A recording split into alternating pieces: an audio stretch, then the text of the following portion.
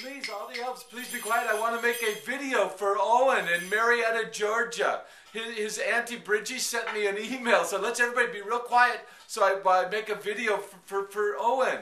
Owen, hi, it's Santa Claus. I want to say Merry, Merry Christmas and congratulations. You've been so good at school and you are so very good at baseball and sports. I'm so proud of you. You're doing great.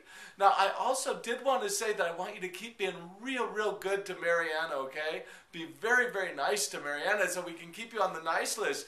And you know what? Maybe you'll get a motorcycle you can ride on. Oh, oh, oh, and I just want to say so much Merry, Merry Christmas. I can't wait to come to your house. And I hope you leave me some cookies and maybe a carrot for my reindeer.